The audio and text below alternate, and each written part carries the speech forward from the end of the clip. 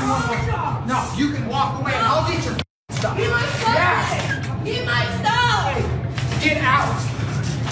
Oh, relax.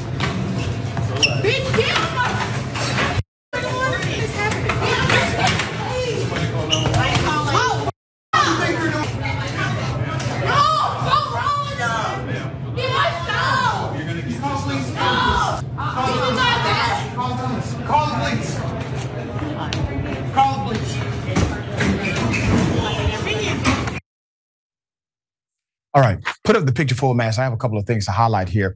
Um, Hartsfield Jackson International Airport, Atlanta International Airport, uh, busiest airport in the world. It has significant, significant commerce at that airport. I mean, there's a food station, multiple coffee shops, and it is a crowded place almost all the time. According to the report, she got into a fight with a coworker. We don't know who was at fault. It could have been self-defense. We don't know. I want to highlight something very interesting with how seemingly management handled this, and maybe her coworkers. The white male, uh, in in his um, attempt to stop her from coming back behind the counter, uh, he threw this young lady, and to me was excessively violent. That's my opinion the black male demonstrated significant restraint. If you look at the full video, she actually she hit him. She hit him. You know what he did? Realizing that it's not too much this person can do to me to actually harm me right now. He didn't get angry and hit her back. She picked up a chair. What did he do? He just took it out of hand. That's it. And his role was to stop the conflict. And so he just wanted to stop her from getting back behind the counter where the fight allegedly started. I want to highlight the brother who did that. Thank you for showing the world an example of leadership in a distressing moment. I mean, the way you handled that, sir, it to me was it you're a good man, obviously. You're a good man. It, you did you seemed more disappointed that it was happening than mad that it was happening. Your coworker, however, the guy, all right. Obviously, the young lady was having a very bad day. Um, this is an airport. An airport, as I say often, is basically a police precinct, especially in Atlanta. There's no way she's getting away. No way possible. Okay. Um, all right. Put up the other picture. The video shows the employee grappling with multiple coworkers, including, as I said, slapping one in the face near the middle of the video. She walks away, looks like she changed her mind, uh, jumps up on the counter. Okay, give me my stuff. Literally, they did still have her stuff behind the counter. Still behavior, obviously not excusable, but once again, this is a th- these are immature actions, and people have bad days. I have had bad days. I have engaged in immature actions as a young man, uh, and sometimes as an older man. It all started with a heated argument, according to the information we have. Espresso shots at Harvest and Grounds by Gate D9. I know Gate D9 are Harvest, uh, Harvest Grounds well.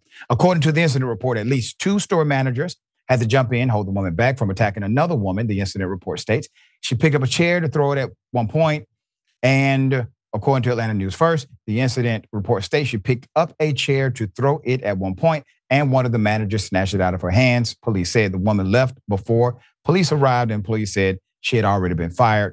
Uh, and the police, they have basically said, you know, we're not going to talk about it, which was really ironic.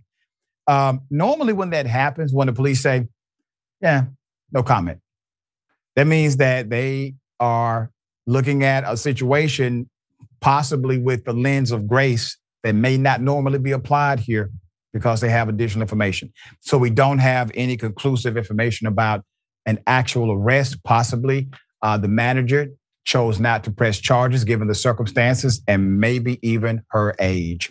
All right, thoughts here.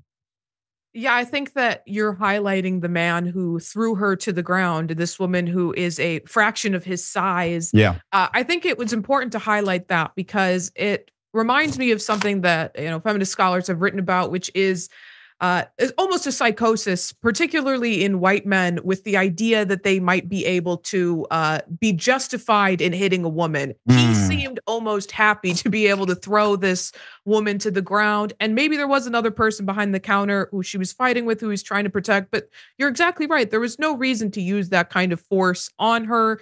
Um, and the other man demonstrated perfectly, you know, how yeah. he was trying to de-escalate the situation. You're also right. Everybody has bad days, and I think it's uh, you know, I would hope that I wouldn't act that way in public, but you never know what might break you. And especially if she was, you know, losing her job, that can be an extremely, I mean, that could be the difference between housing and being, uh, you know, homeless in this country. Yeah. It could be a very severe thing to go through, a very emotional situation. So, things make people crack and i think you're exactly right also about the uh, the police are not giving additional details so maybe there was something else that happened um, that led to this moment. But I think one thing is evidenced here, and that's that in this country, we need to do more in the way of educating people how to manage our emotions so that we see yeah. less violent outbreaks like this, because it is something that uh, schools don't properly do. It's something, you know, that is inaccessible for a lot of people because healthcare is unaffordable in this country and it is a necessary tool, you know, one that I utilize working in education, one that I utilize with myself now, something that I think everybody could benefit from if we cared more about you know managing emotions and and teaching that sort of you know empathy education in this country. Yeah so well said and i will say this based on the outcome of it. Um, this is my conclusion all circumstantial. Um, possibly what happened in the back was self-defense. That is a possibility. And if it was self-defense and there was uh, a conflict with her and another manager, well, that other manager may have crossed the line to where that's mutual combat now. Okay. And if the black male who clearly did not want to be an aggressor chooses not to press charges, this whole thing is a nothing. Uh, everything kind of evens out. That's just me putting my uh, law school graduate hat on.